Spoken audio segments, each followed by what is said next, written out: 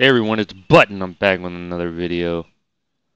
Today is Monday, April 12th, and I hope you guys had a great weekend. It's the start of a brand new week, and uh, we can kind of make this week whatever we wanted. So let's make something special happen this week, all right, gang? Um, not a ton to talk about today. Not any like VeVe news or anything like that. So I'm going to go over the normal stuff, and then I just want to talk about um, price trends and stuff like that, and just kind of what I'm seeing on a macro level, so you guys get a kind of a view of, of my perspective or what I'm seeing.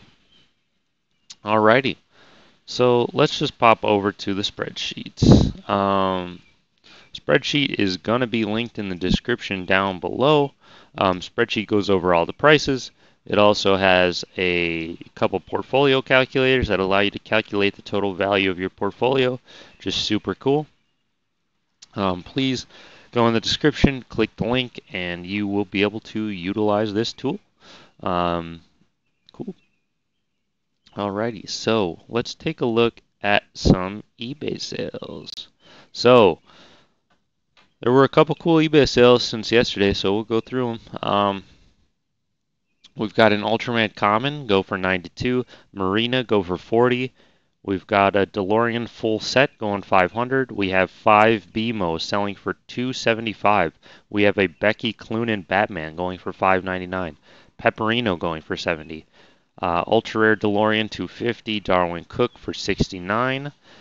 Dolce for 60. Pogo for 70. I've been seeing a lot of Pogos go for crazy prices lately. I don't know who's letting those things go. Um, DeLorean Common for 50. Uh, Bruce Timm Harley Quinn 171, 172, whatever. Um, a rare DeLorean for 80. We got a Corsica 188. We've got a Marina for 50. We have a Muka for 79. We have a Prima Donna for 82. We have a Maria for 39. We have a Pogo for 88. We have a Risso Batman selling for that premium price up there at 5K, baby. Oh, that Risso Batman. Holy smokes. If you want that thing and you don't have it, you better have deep pockets, fam. Um, somebody bought a Stellina for like 98 bucks. I don't know about that. Um, oh, here we go. Mayor of Townsville selling for a cheaper price than the other two I had. Um, this one went for 485. This was the third sale, and it only took us like two days. I like never see these things, and then it took us like two days to get three of them. So I've got a full average on the spreadsheet now for Mayor of Townsville. This is how it works out, I guess. Um, Maria 33, uh, Corsica 180, Gelatina 19, um, Ultraman Ace for 600. Oceana 22, Joe Madero Batman 275, Corsica 208. We got a Back to the Future DeLorean rare for 77. We got a Bellina going for 112. Uh, Back to the Future DeLorean rare for 139. Ultraman 7 for 175. Perla for 35. Metallo for 260.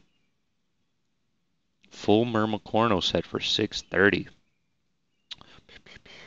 Bellina for two, or sorry, for 128.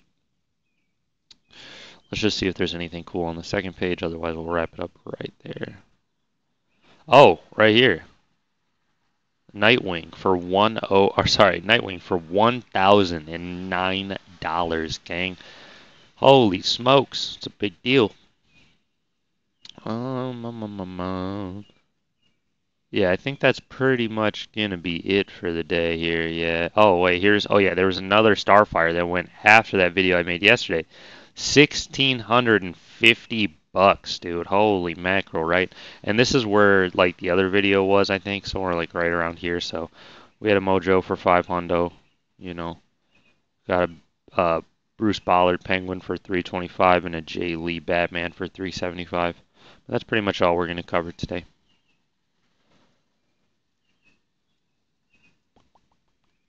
Alrighty. So, I just want to kind of talk about the prices.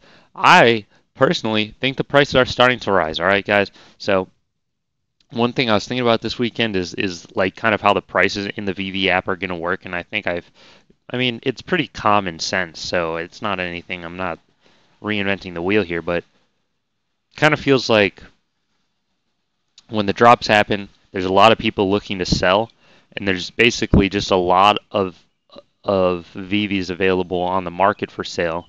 And like these people just keep undercutting each other, undercutting each other, undercutting each other, and selling them for as cheap as possible, like racing to the bottom.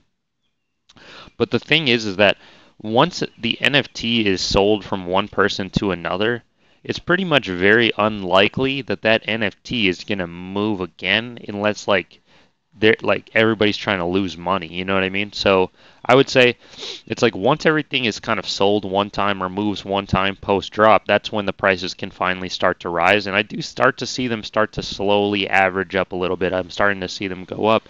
Doesn't matter if it's the Mermicornos or the Unicornos. It's just kind of like everything that was a little bit suppressed feels like it's moving back up a little bit. So that's my take on it.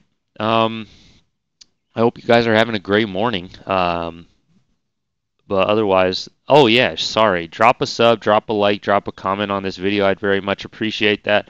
I'm um, trying to get to uh, 750 subs so I can do another giveaway. All right. If you guys want free NFTs, drop a sub. I'd very much appreciate that. And peace.